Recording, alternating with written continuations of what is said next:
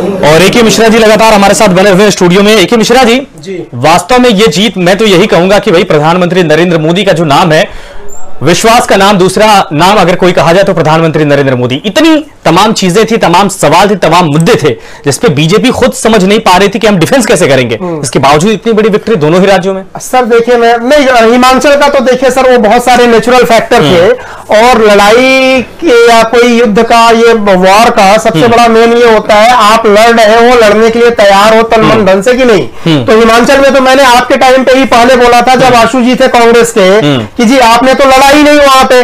तो ऑलरेडी आपने मैदान खाली कर दिया। ये सोच के कि हम बड़े की तरफ़ जो है जाएँगे जो गुजरात रहा। तो वही है दुविधा में दो गए माया मिली ना राम। अरे जब जब गुजरात में इन्होंने बकायदा लड़ा वहाँ हाँ। पर हार गई तो फिर गुजरात मुझे लग रहा है हिमाचल में तो कोई संभावना नहीं थी नहीं, वीरभद्र पे आरोप लगे कांग्रेस ने वहाँ चुनाव प्रचार नहीं किया पहले से पता था कि यहाँ पे सत्ता में वापसी नहीं होगी। संभावना हर जगह रहती है सर। हाँ। वो कम ज़्यादा करके अगर वो चाहते मैं बहुत पहले से हिमाचल को देख रहा था वो चाहते तो बहुत अच्छे तरीके।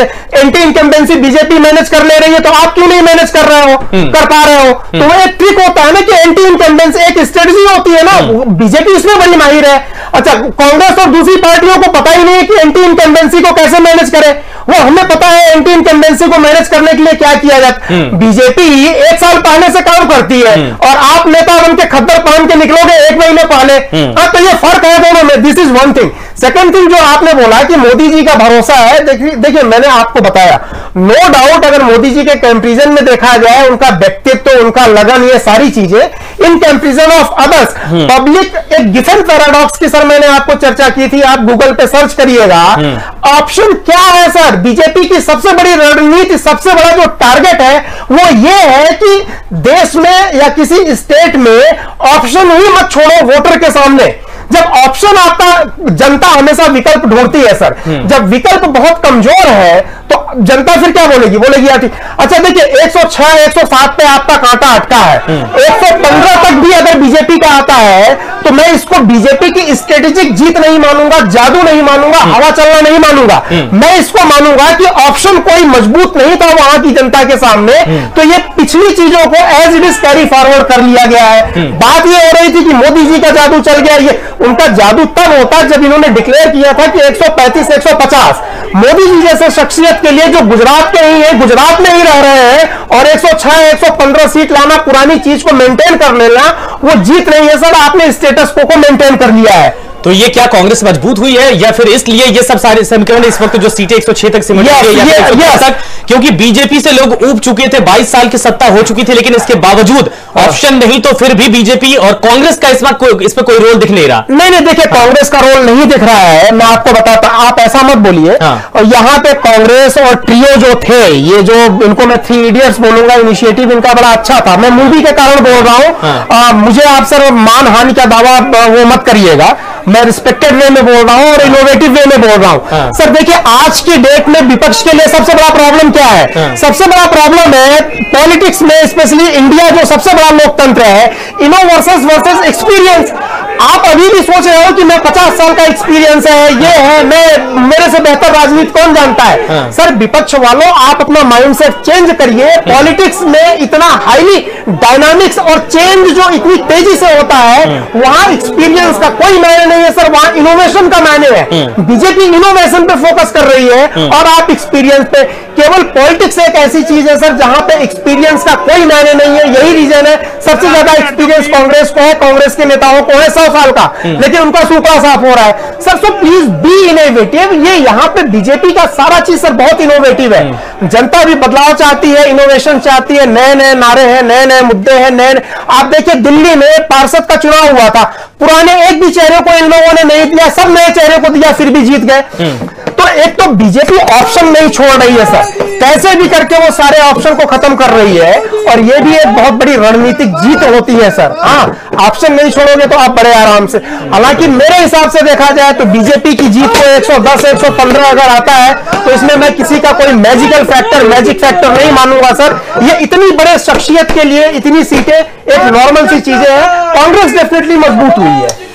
एक सवाल है, अशोक गहलोत या फिर ये तिकड़ी की बात की जाए, जिग्नेश मेवाड़ी, हार्दिक पटेल और अल्पेश ठाकुर। मुझे लग रहा है कांग्रेस का जो बेस तैयार हो रहा था, इन्हीं तीन या चार फैक्टर की वजह से हो रहा था। राहुल गांधी ने दौरे किए, चीज़ों को भुनाने की कोशिश की, लेकिन जो वो सॉफ्ट हिंदुत्व का कॉर्नर एक मंदिरों में जाकर बनाना चाह रहे थे, वो सफल नहीं होते दिख रहे हैं। और ये जो वोट है, ये सिर्फ़ उसके बदौलत मिला है। मुझे लग रहा है कि हार्दिक पटेल और अल्पेश ठाकुर और जिग्नेश मेवाड़ी का जो विरोध था, वो वोट सिर्फ़ इनको शिफ्ट हुआ है। मिश्रा जी। जी। देखिए मैंने आपको पहले भी बताया था कि एक इसके प्रोसेस को समझिए सर जो पॉलिटिकल जो विक्ट्री या डिफीट होती है और पॉलिटिकल कैंपेन होता है।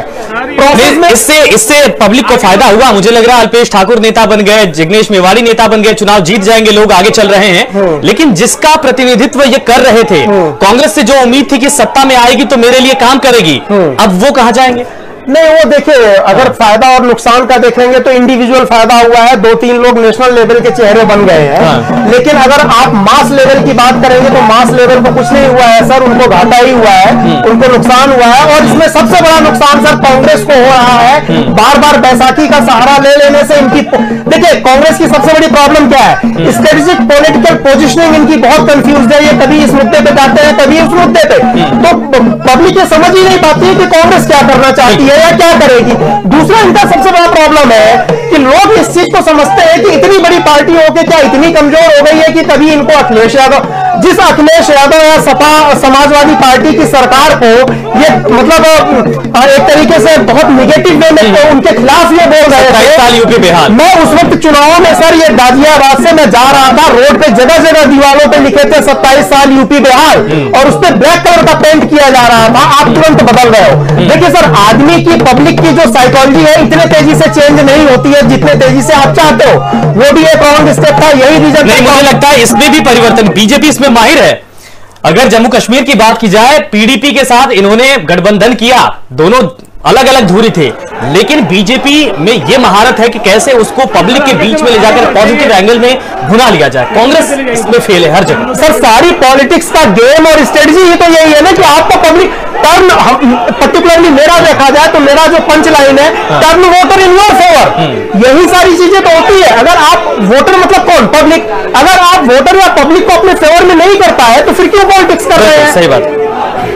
तो only task is there that turn voter in your favour अब आप मैं बताता हूँ। पॉलिटिकल इन्वायरमेंट जो होता है उसके कंपोनेंट कितने होते हैं सर कंपोनेंट मतलब उसमें कितनी कितनी चीज़ें होती है। देखिए एक वोटर होता है एक सोसाइटी होती है पब्लिक होता है जो नॉन वोटर होते हैं जिसकी उम्र कम होती है। पॉलिटिकल पार्टीज़ होती है पॉलिटिकल लीडर्स होते हैं अपोजिशन और पक्ष और विपक्ष के।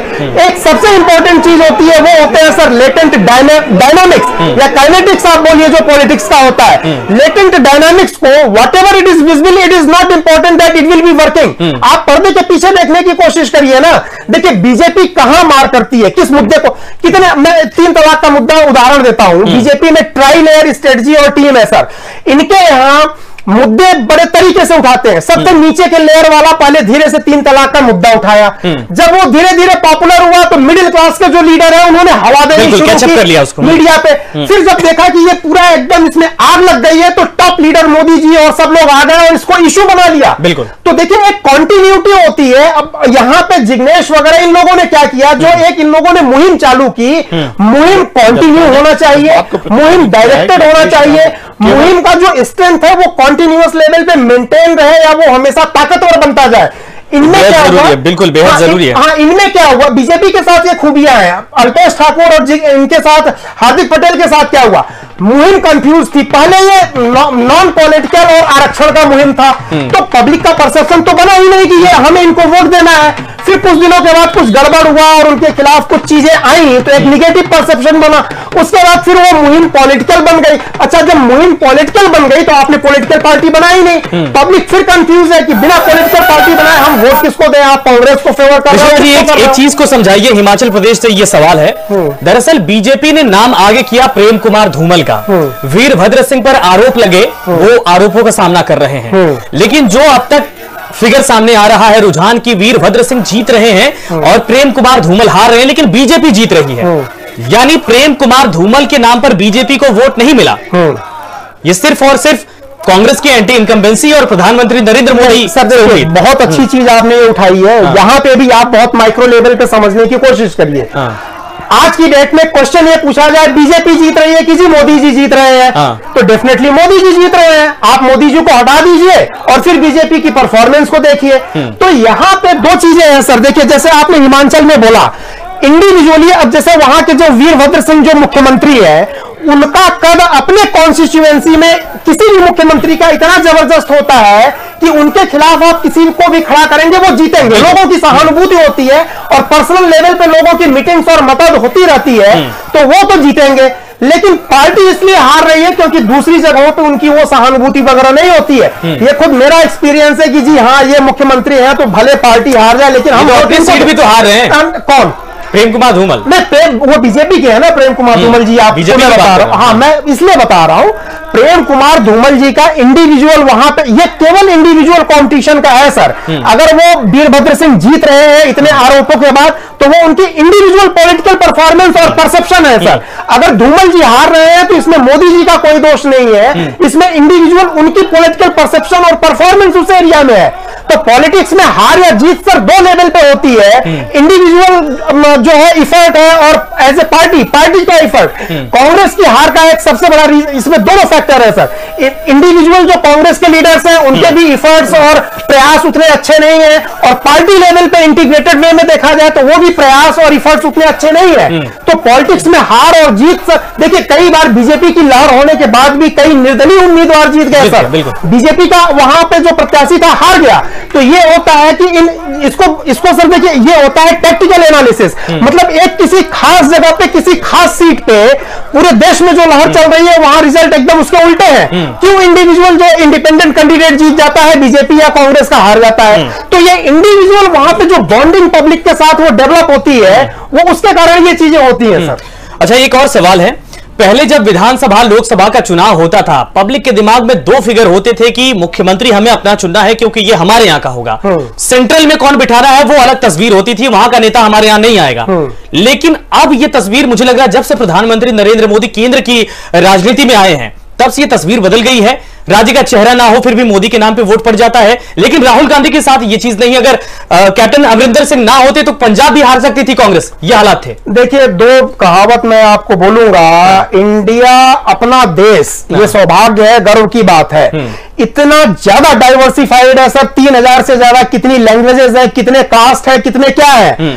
पूरे इंडिया की भाषा कोई नहीं जानता है सर तमिलनाडु में अलग चेन्नई कर्नाटका में अलग लैंग्वेज खान पान हर चीज़ अलग है। कुछ अलग है, हाँ। तो यहाँ पे जो क्वेश्चन आपने ये पूछा है इतनी ज़्यादा डाइवर्सिटी है और बीजेपी क्यों देखिए आज दोनों देशों दो सारी पार्टियों में ये है।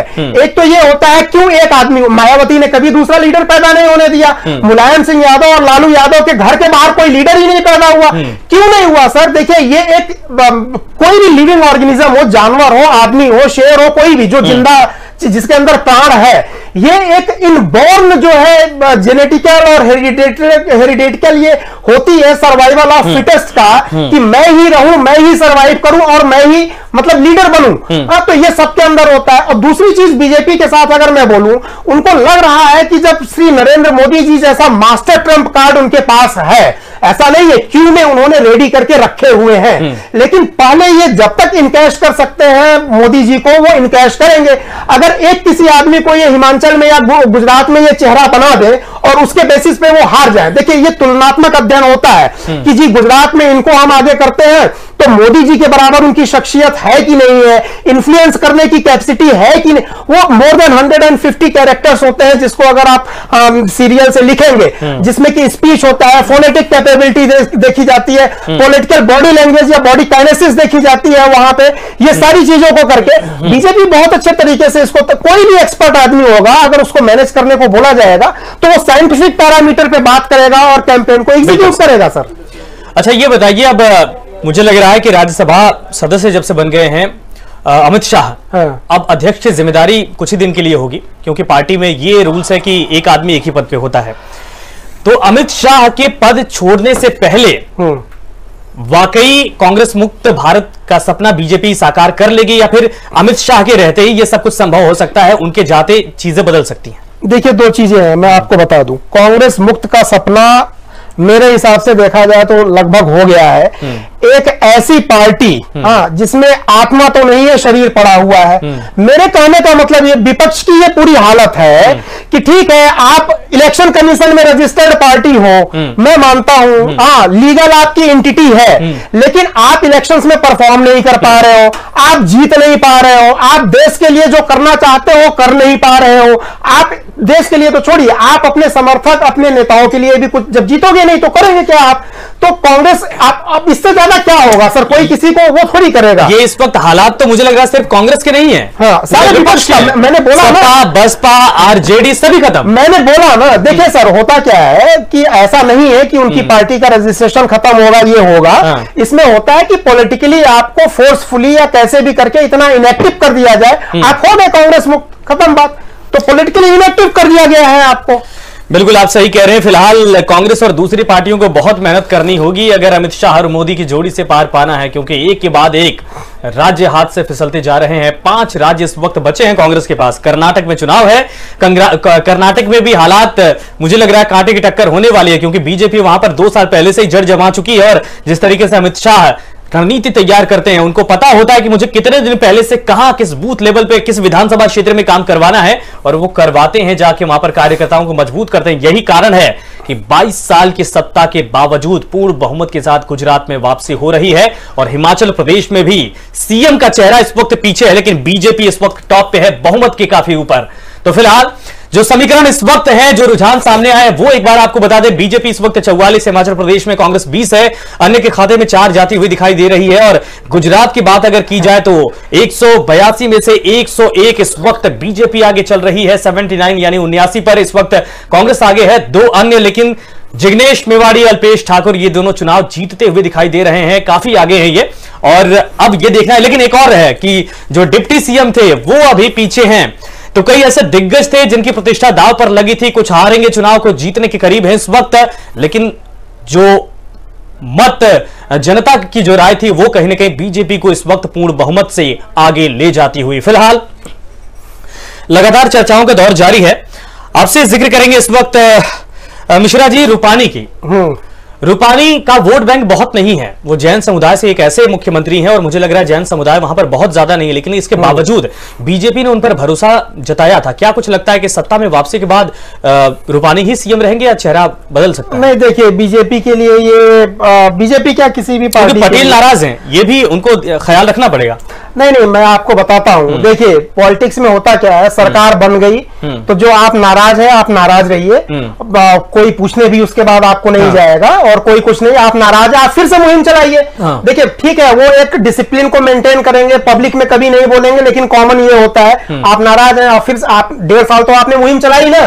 तो आप चलाते रहिए जो है आपको जो करना है। लेकिन देखिए रूपानी का जो है रूपानी सॉरी रूपानी जी का रूपानी जी से बीजेपी को कितना फ़ायदा है ये बताइए देखिए मैं आपको एक चीज़ बताऊँ हाँ। रूपानी जी या गुजरात या इवन सब जगह एक्सेप्ट योगी जी को छोड़ के। बाकी सारा काम जो है स्ट्रेटेजिक वे में देखा जाए तो बीजेपी को कोई फ़ायदा नहीं है। स्ट्रेटेजिक वे में सारा फ़ायदा बीजेपी का जो है वो बीजेपी की सेंट्रल टीम से जाता है। बाकी स्टेट लेवल पे जो होते हैं वो एग्जीक्यूशन में फ़ायदा होता है सर एग्जीक्यूशन मतलब टैक्टिकल इंप्लीमेंटेशन जब उसका होता है हाँ प्रैक्टिकल इंप्लीमेंटेशन मतलब क्राउड कवर करनी है यहाँ रैली करनी है ये है वो है तो उसके लिए तो मैन पावर चाहिए तो अब इसके लिए तो उनको चेहरा आपको देखिए चेहरा रखना एक मजबूरी है क्योंकि लोग चाहते भी हैं और वहाँ इन सब चीज़ों को करने करवाने के लिए कौन चाहिए? तो ये बेनिफिट होता है केवल कैंपेन को और पूरे दो तीन महीने छह महीने एग्जीक्यूट करने के लिए। बाकी स्ट्रेटेजिक वे में रूपानी जी का कोई कंट्रीब्यूशन मुझे बहुत ज़्यादा नहीं दिख रहा है। नितिन पटेल के इस वक्त काफ़ी पीछे हैं। इनके पीछे होने का कारण क्या है? पटेलों का गुस्सा नाराज़गी क्या कारण हो सकता है? देखिए नितिन पटेल जो अगर पीछे देखिए किसी एक इंडिविजुअल सीट या इंडिविजुअल व्यक्ति की अगर आप बात करेंगे ना। इनका कद बड़ा है। नहीं, नहीं, बात- सीएम और डिप्टी सीएम है। अमूमन माना जाता है कि प्रशासनिक सपोर्ट भी इनको मिल जाता है लेकिन ऐसा मैं नहीं कह रहा हूँ होता है माना जाता है।